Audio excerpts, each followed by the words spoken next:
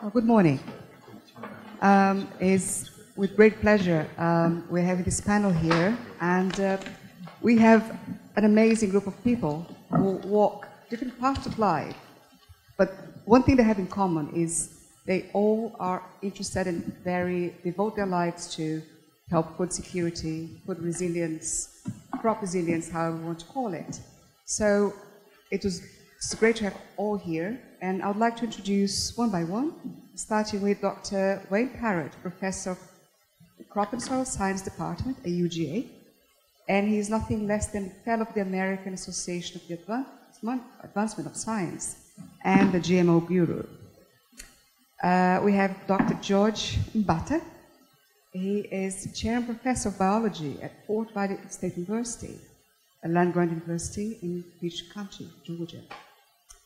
Um, we have Representative Sanford Bishop, uh, who's chairman of the Agriculture Appropriations Subcommittee.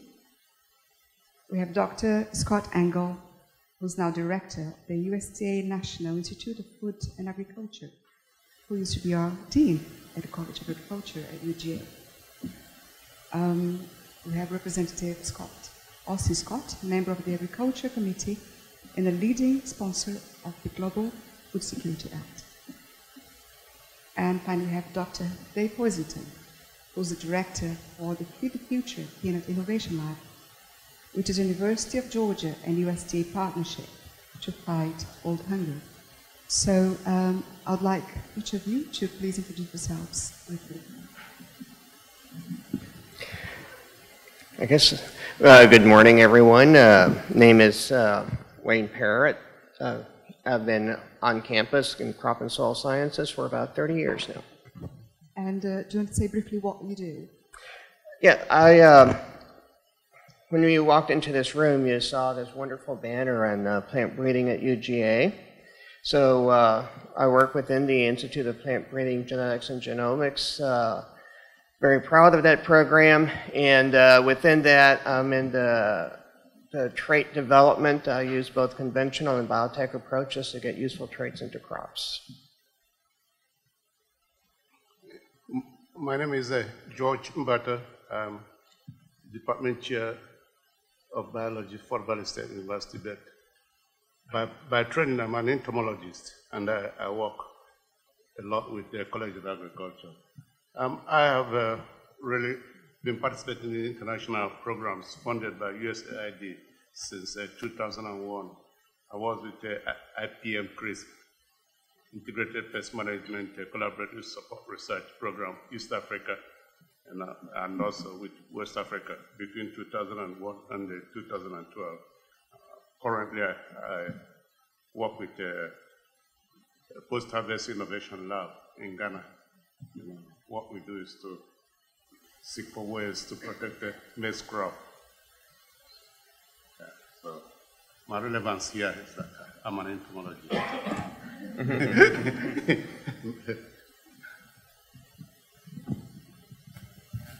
I am uh, Congressman Sanford Bishop. I represent the 2nd Congressional District of Georgia. Uh, I am in my 27th year in uh, the U.S. House of Representatives. I've served on the Agriculture Authorization Authorizing Committee. I now chair the uh, Agriculture Subcommittee of uh, the Appropriations Committee. That's funding agriculture, rural development, and the Food and Drug Administration. I have a passion for rural America. I also have a passion for our international programs. Uh, foreign agriculture is very important. It's a very diplomatic tool, and I appreciate very much uh, uh, this summit and look forward to continuing to work with all of you to improve the quality of life uh, for people on this planet uh, for years to come.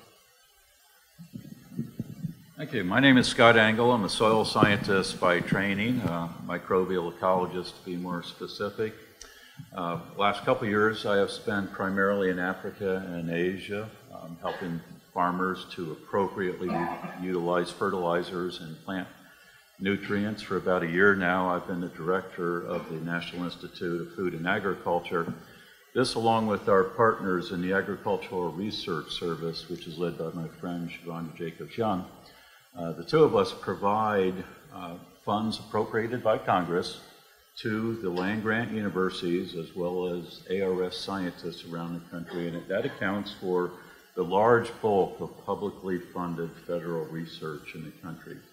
So Dr. Jacobs Young and myself, our job is to make sure that those funds appropriated by Congress are solving important problems, are being used efficiently, and we are telling our stories to the American public so that they understand the importance of research and how it can change lives.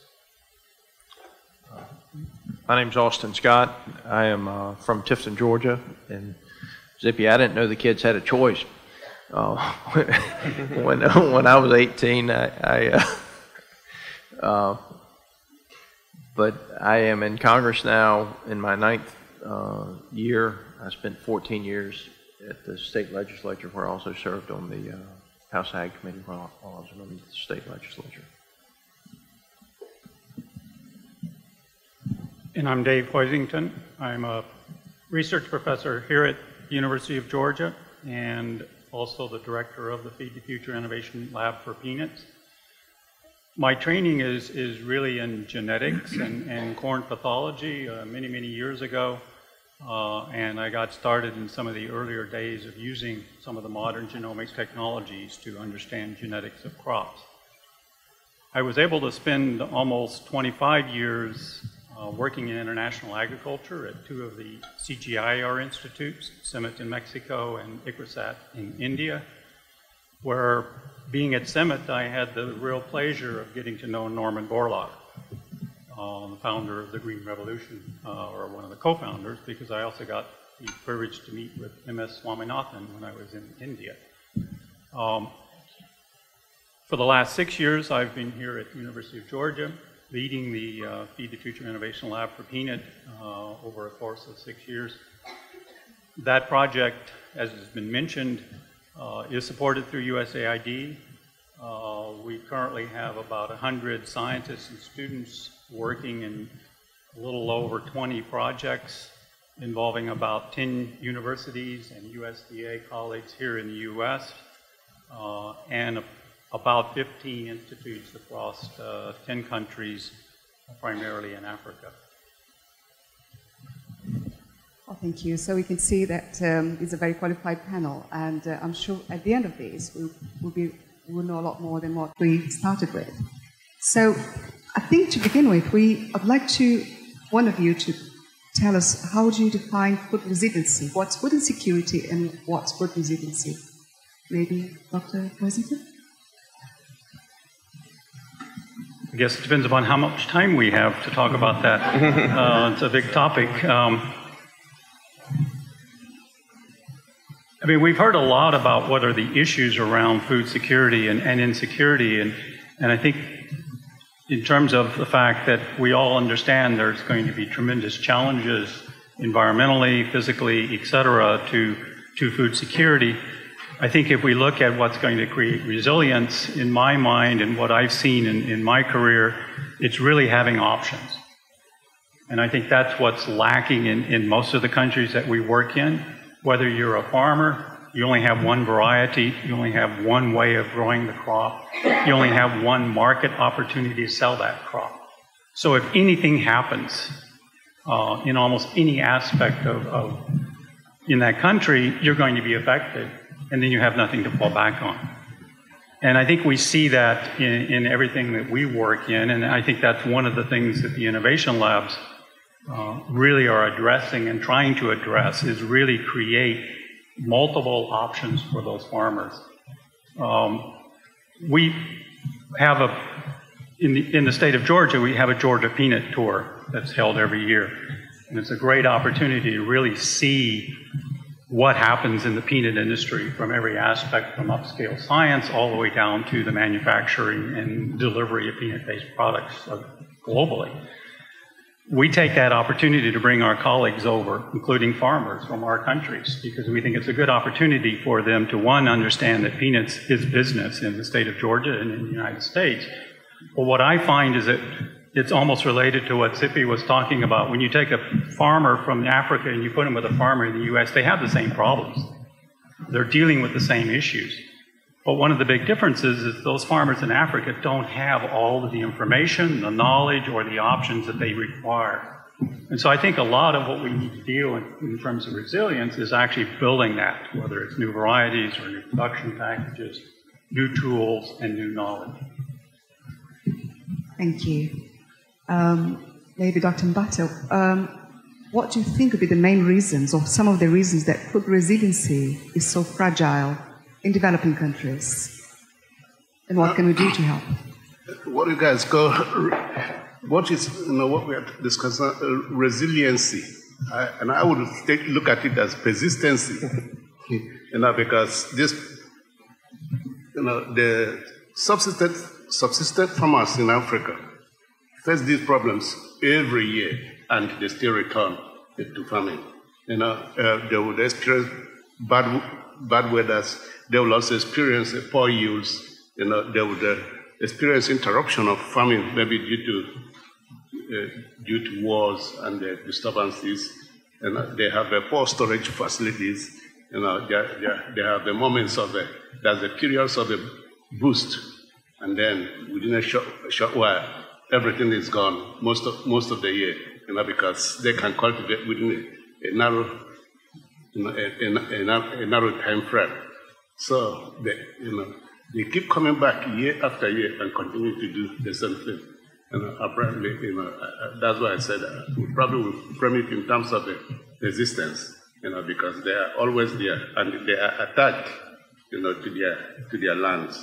So, you know, there is no running away uh, from from the land for them.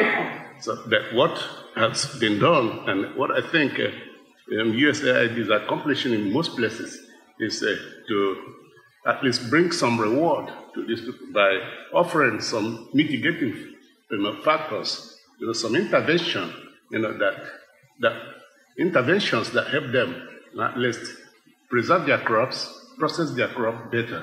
So I think that's the way. And do you think technology, science technology, could help them solve the problem in some ways? And do you think the United States would help with that? Yeah, I give a, let me give, give an example of the project from the Innovation Lab in Ghana. There's a post-harvest innovation lab. You know, one of the things they didn't have is a storage. Most of the farmers will store their, their crop in their bedrooms, and you know, um, so apparently they didn't have a, a lot of uh, protection. So what we did there was look for ways, first of all, you know, put in a drying method that is not too expensive. You know, like uh, we, we build a solar hybrid dryers.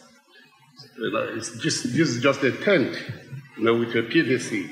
Then have uh, shelves underneath it where they can load their crops, and then you know, with the solar radiation, they're able to dry their crops to safe levels. And we also found that you know, with that intervention, you know, that pest infestation be, became reduced and they can store their crop, their crops a, a little longer.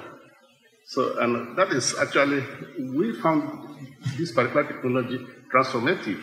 And what we're trying to do is to move it across the entire West Africa so that they can adopt that. Uh, another measure also is um, in Mali, where potatoes you know, we are stored in, in pots that they are not ventilated. What you find out within six weeks, they will lose the entire crop. The USAID came in and built the, you know, um, they built the storage facilities. They're not quite big, with ventilations and fans. So, you know, their crops could last three months. And, uh, you know, and there you see the logo of USAID from us to you. And I mean, for me, that was a source of joy that at least some provisions have been made, some assistances have been made to improve people's lives. Very nice. Very nice to hear. Thank you. Um, one of the things that's also um, good aid and good help um, is the ready to use therapeutic foods. and I think um, is in your district, uh, Representative Austin Scott, that uh, is a company that produces it. Um, how do you see the, well, I think peanuts are very important. Uh, how do you see the peanuts um, in Georgia being produced and helping world hunger? Peanut, peanuts are very important. I would tell you, peanuts probably paid my tuition at the, at the University of Georgia, and now I'm sitting here with the doctors that said I would never be on a panel with them.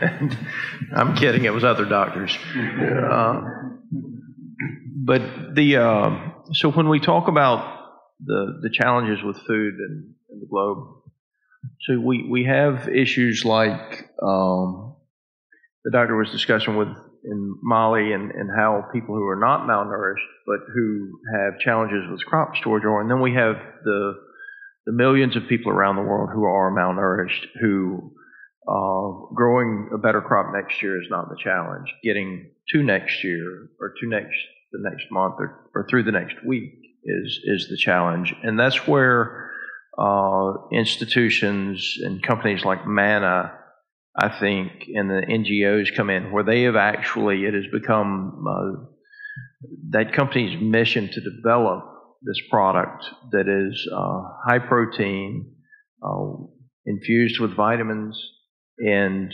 um, in, in dairy, if I'm not mistaken, so that we're able to provide two packages in one day is, is enough to to end the malnourishment of an individual child.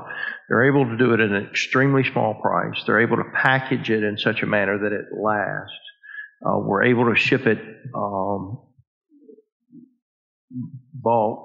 I mean, they and the NGOs that, that distribute those packages have saved millions and millions of people around around the world. The uh, the one thing that I would suggest, and this actually came from from General Kelly, with with any of the packages packaging like MANA and that we do with USAID, is I do think that the American flag needs to be more prominent on um, the things that we are that we are handing out because the American flag, as you saw in that picture right there, uh, in many of the cases, we're, we're, we're helping people who have second and third grade literacy rates, or who may be led by people who have third, fourth, fifth grade literacy rates.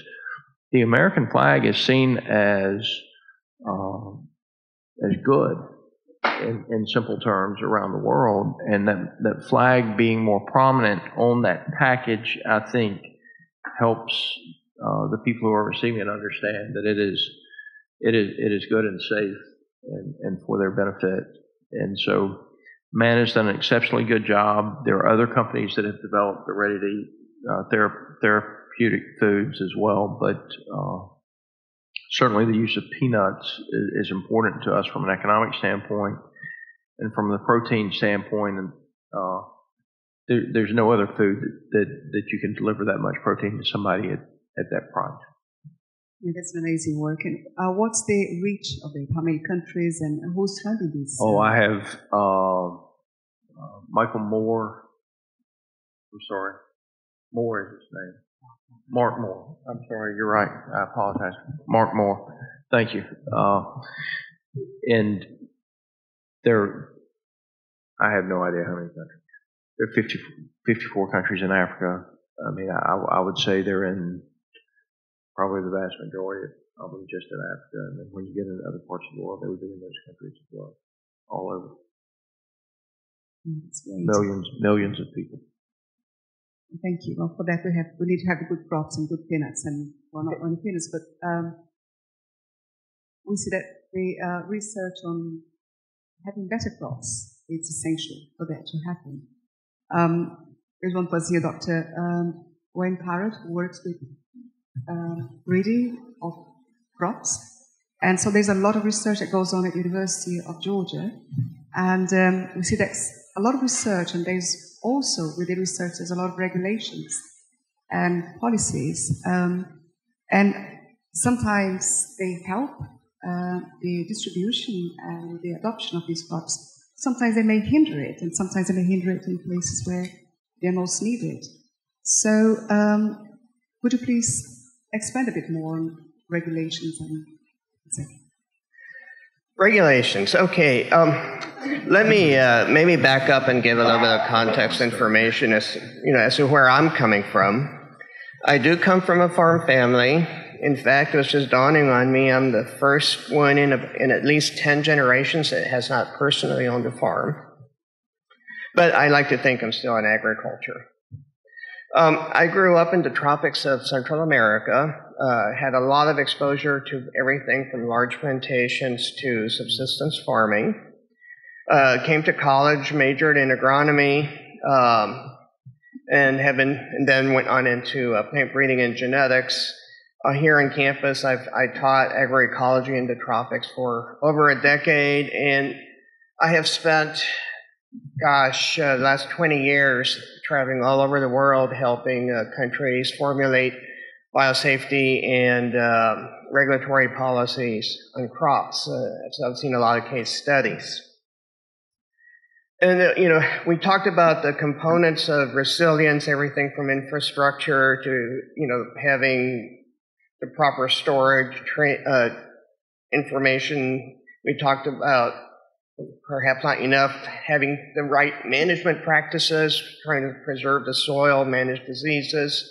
And the third component being the genetics, uh, which is uh, where we come in. And uh, quite frankly, you know, the success that genetics has had since World War II is just astounding, and I love to tell the story every time. But the bottom line is that we're feeding, uh, you know, what, 8 billion people as opposed to 3 billion people. Uh, and the amount of land and resources is pretty much what it was in World War II. So we have had all those huge gains in efficiency. And uh, part of that is admittedly due to management practices. Part of that is due to um, to the genetics, and depending on whom you ask, half to two thirds or thereabouts is due to genetics. And so uh, yields are continuing to increase at about a percent a year.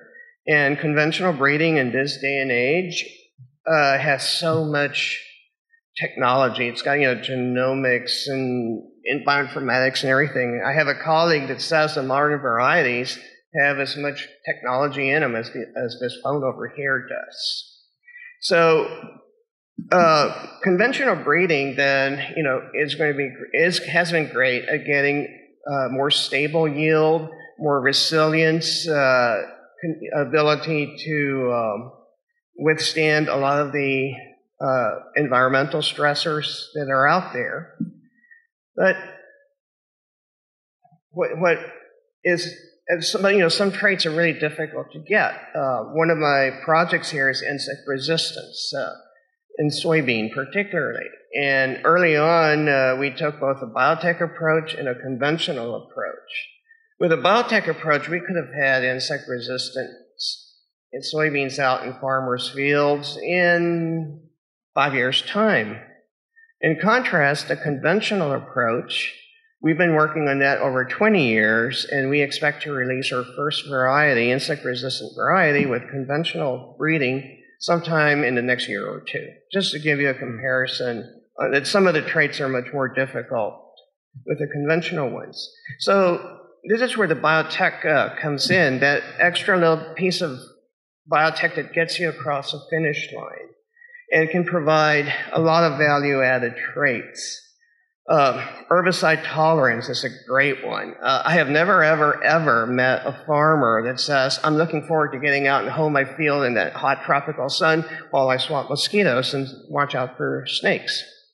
Uh, it is probably the single largest need for labor, and if they can't provide it, the farmer himself, they'll keep the kids home from school to help with the hoeing, or they might have to hire people. It's a large expense. So a simple trait such as herbicide tolerance makes a huge difference both in, in quality of life and in the expenses on the, on, on the farm. And, they, and if they're not hoeing, they can, uh, you know, use the time to grow a cash crop that they can sell, or they can get an outside job. I've known people that do that or even spending it with their family is a nice luxury that we often take for granted. So herbicide resistance, uh, we show a disconnect between the farmers and the perception of the public because the public is So- always talking about So we must get rid of this romantic notion that smallholder farmers live in perfect harmony with nature. They don't. It is a daily struggle, and they need all the help in the world. And one of my greatest pet peeves are those NGOs that push policies that want to preserve peasant ways of life. You know, all they're doing is condemning them to, you know, you're laughing, but if, if- on the other end of it, it, all you're doing is you're condemning them to heart, you know, lifetime of hardship and poverty. But along those lines, talking about biotech traits, you know, even in this day and age with all our fungicides, insecticides, and everything that we have, we're still, in the worldwide, we still lose about 30% of our crop to diseases pre-harvest. You know, we don't necessarily need to increase yields. We just need to stop the losses. And with biotech, solving dis- diseases is low-hanging fruit. It is one of the easiest problems to solve with biotechnology. So we should have the whole country planted with disease-resistant crops, and we don't. That's where policies uh, start coming into play. Uh, getting in both, so policies in general have delayed the deployment of all biotech crops in general, disease resistance in particular. Uh, and you know, a lot of them are out of our control. European policy, for example.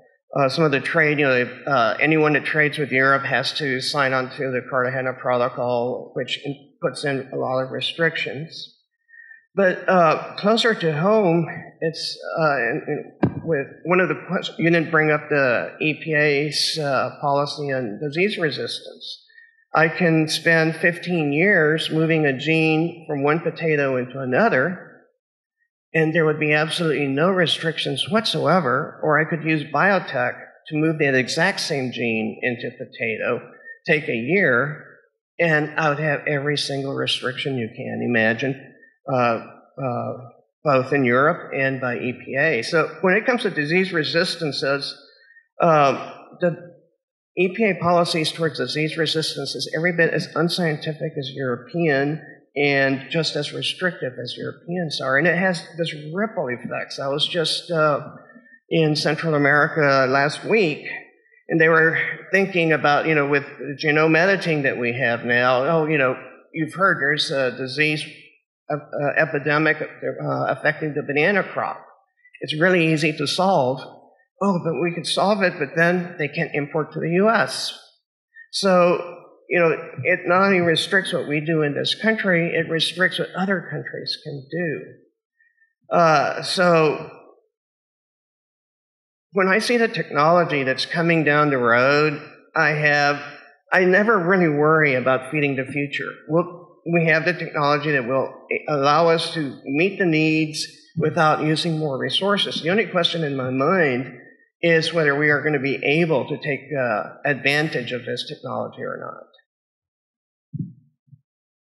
Oh, that is very passionate and very informative. Thank you.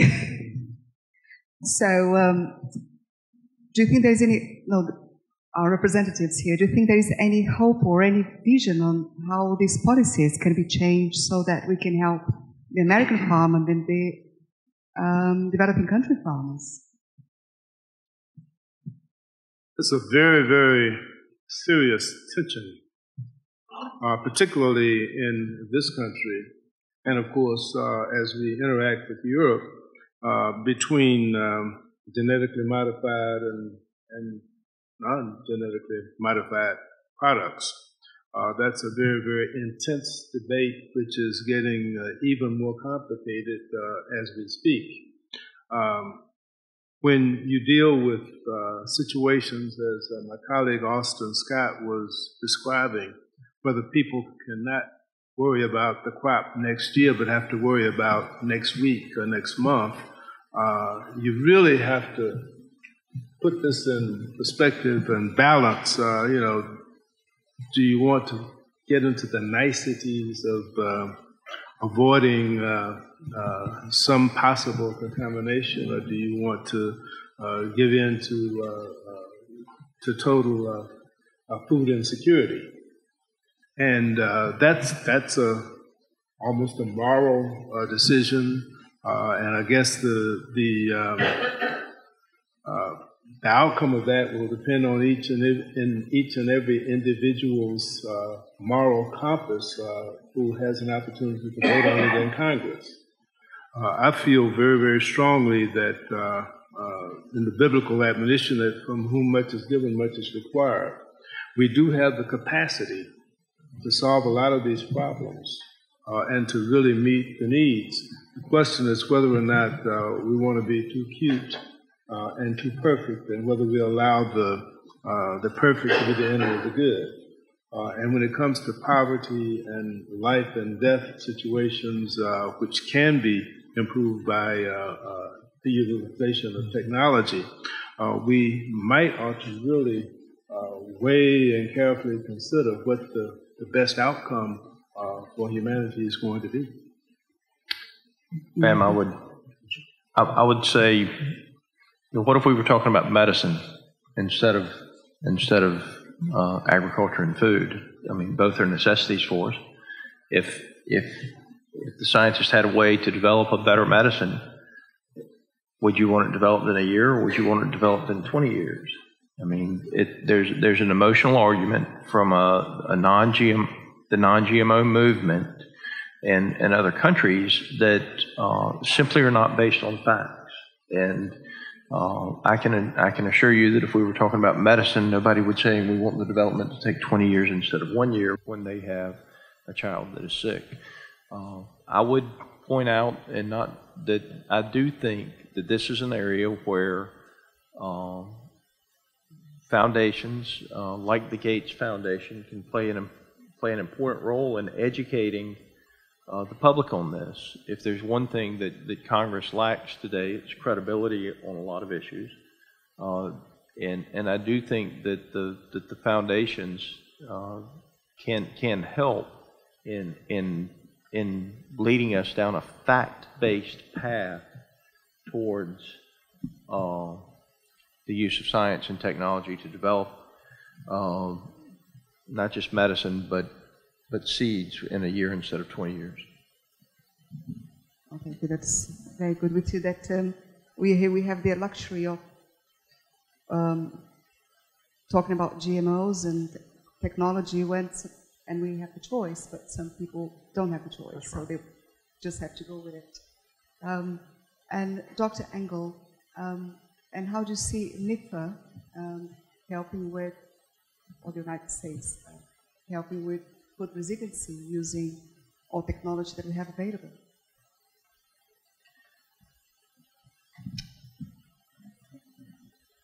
American farmers need to be at the cutting edge of uh, technology. The margins are so small today that if you're not the best farmer using all of the available technology, you can't make it. But that's not true in many areas of the world. Uh, you can grow 75% of average yields with just a little bit of technology. So we don't need to, we don't need to have auto-driven tractors in many areas of the world. Um, there's lots of simple things that can be done to um, solve some of these problems. You need good seed genetics, you, you need fertilizers, you need water, you need a good climate. Agriculture ultimately is not that complicated. Uh, Africa, particularly, is blessed to have many um, great attributes that will allow her to grow more food, assuming that we can get some relatively simple technologies in place there. Um, the use of GMO crops is, to me, a no-brainer. And I would congratulate Dr. Parrott for taking the lead on this. He's been an advocate for this on a global scale for probably decades now, and leading some of this this charge. But I think it's time for Americans to uh, simply stand up and say to the Europeans, "We're right and you're wrong." and the fact that you are wrong is hurting people around the rest of the world, particularly in Africa. There are people who are going hungry because of decisions being made in, uh, in Europe. So we know we have the science on our side. We know we are right. Uh, we need to be proud of the fact that we, that we do have good science that has informed much of this. How can NIFA help? Um, uh, NIFA is charged with uh, supporting American farmers first and foremost. Uh, But much of what we do has spin-offs to the rest of the world. I can, there are many, many technologies that have been developed through public investment and research that are being used around the rest of the world, in- including Africa right now. Uh, So we will continue to provide those technologies to American farmers, but we also look for ways that they can be spun off, because we know that when the, the rest of the world is healthy, has a strong economy, they begin to buy American products at that point. So, uh, yes, we may have invested U.S. taxpayer money in technologies that help another country, but ultimately, as um, Chairman Bishop has said, everyone's boat is floated a little higher, and we will all benefit in the long run thank you. It's very good. Um, we still have 10 minutes, and I'd like to know if, um, if anyone would have questions. No questions.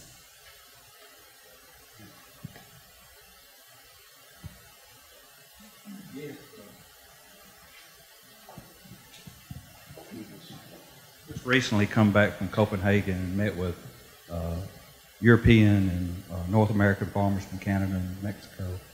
Uh, and I was kind of blown away by the discussion that we heard from the Europeans there. I mean, they're, they are scared to death as farmers. There was about 300 of them.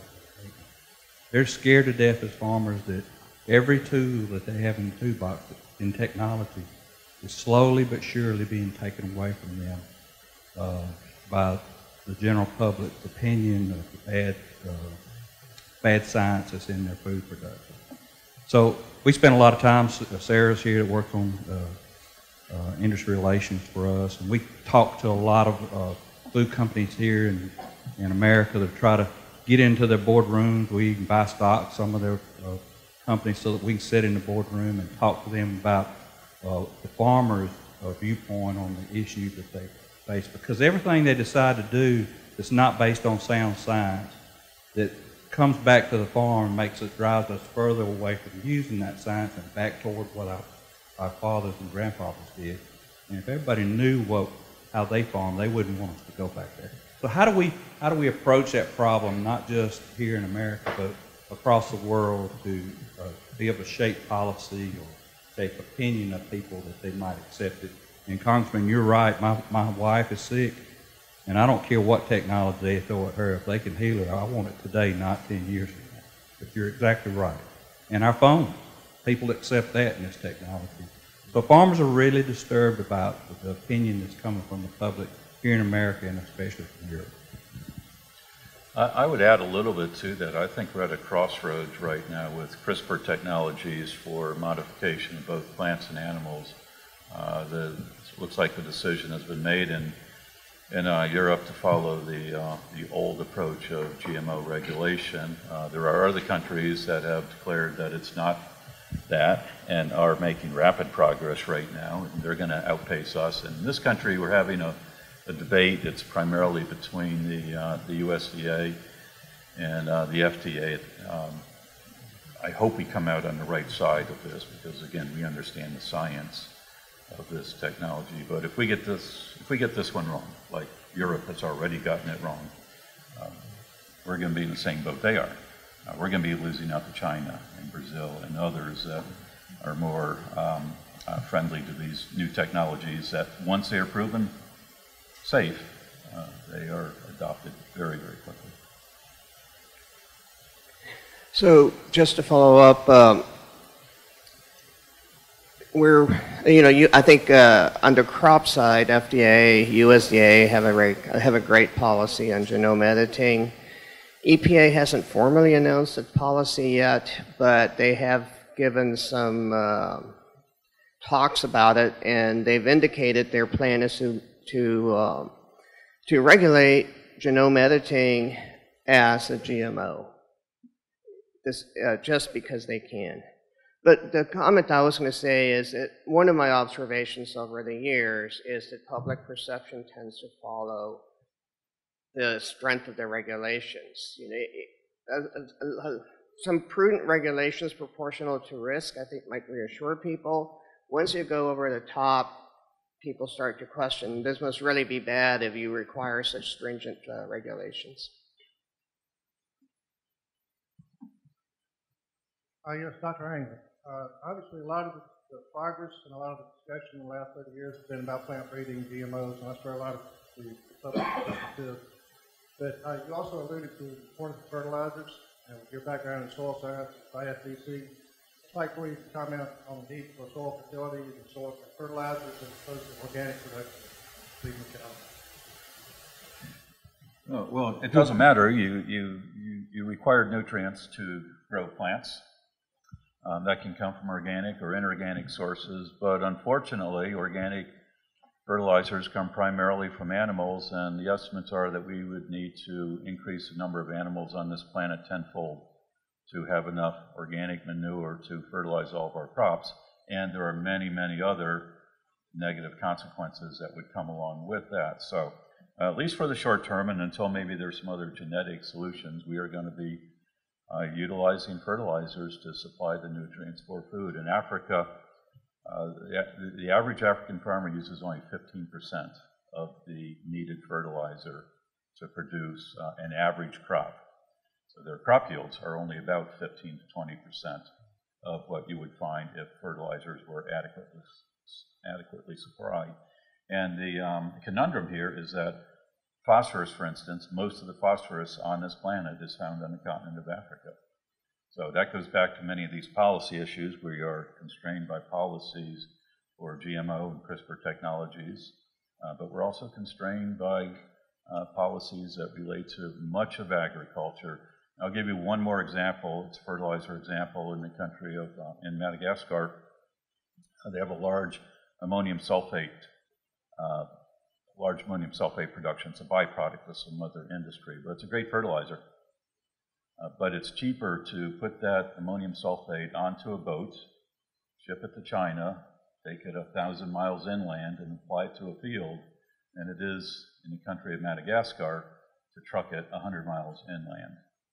And that's because of the regulation of that country and how they manage these inputs. So, great opportunities um, to make some significant progress with relatively simple technologies. Fertilizers are a very simple technology. Let me just add, yes, they pollute the environment uh, when they are misused. Hypoxia in the, uh, the Gulf of Mexico, the Chesapeake Bay, where I spent most of my life working, uh, polluted there from uh, ultimately from fertilizers. So they have to be used appropriately. But we have much better knowledge today of how to use fertilizers appropriately, how to get more efficient use out of them, and how to produce the environment less. So a lot of that came, by the way, from government regulation. The regulations used in the right way at the right time are essential and um, I would argue has allowed American agriculture to, be, to prosper in spite of or despite, despite it or because of it, whatever you might say. But um, these regulations often very um, negative consequences in Africa and Asia. Uh, in this country, as much as we complain about our regulation, many of them have been uh, quite helpful and have um, allowed us all to have better lives as a result. Thank you. Um, we have three minutes left, so one quick question, and then we have the final remarks. I think everybody uh, so, so President Duval talked about something that's very critical for us right now for the solution, and that's the labor crisis uh, that we have in American agriculture right now. So I'd like to sort of hear, uh, maybe this is for, for Scott,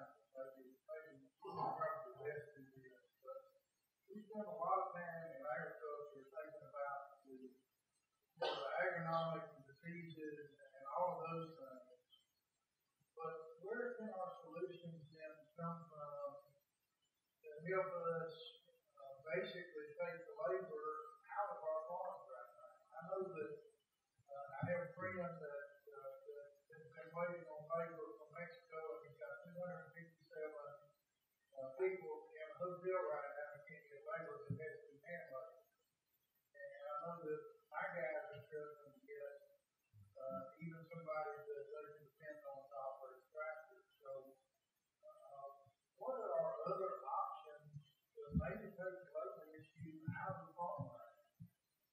I just want to provide one quick answer before the congressman would answer that. In, the short and midterm, this is a political decision where we need our elected officials to help with that. In the long term, I think machines are the answer. Uh, uh, the, the um, technology of robotics is moving forward so quickly that I think sooner rather than later, much of our labor problem on the farm and in the processing area will be solved through that technology. But that doesn't help us in the short term. Uh, the, the labor issue is a really, really sharp issue, uh, particularly as it intersects with uh, immigration and the whole immigration issue. Uh, it's one with which Congress is wrestling right now. Uh, we expect uh, at some point to have a guest worker bill to come to the floor, or to at least be considered in committee. Uh, we've been wrestling with this issue now for almost a decade and uh, have not been able to resolve it because we've got uh, so many uh, extreme positions and people who are unwilling uh, to find some middle ground. Uh, in order for us to continue to produce the highest quality, the safest, most economical food and fiber anywhere in the world, We've got to have labor to harvest it, or we won't have producers who will invest in producing it, which means that we won't have the quality of life that we have in this country and be able to help other countries around the world. So we have got to have the will uh, to find middle ground. Uh, the left and the right, uh, the extreme left and right, have got to find a way to come to the middle and resolve it with a consensus. So I, I would tell you that uh, Congressman Bishop and I could probably come up with a pretty quick solution, as most of the people in this room could. Unfortunately, with their, their 435 members of the House, there are 100 members of the Senate. Uh, there's there are more emotions than facts in, involved in this in this resolution, and it is. Um, I do not expect anything to happen uh, prior to the next presidential election with regard to uh, immigration. With regard to technology, if something has a hole, uh, it's pretty easy to find a way to pick it with a machine. If, if it has a hole, it, when you have um, fruits and vegetables like tomatoes, for example, it becomes becomes much more difficult to, to harvest it without damaging um, the the end product. But but I do as as the dean has said, that technology is, is being developed. But I do think that you will have a significant amount of losses of, of the crop with the, the gathering of, from a machine of, of what I would call fragile uh, vegetables and fruits versus uh, versus the hand. but uh, I know we, we could talk for weeks on that one. But that's.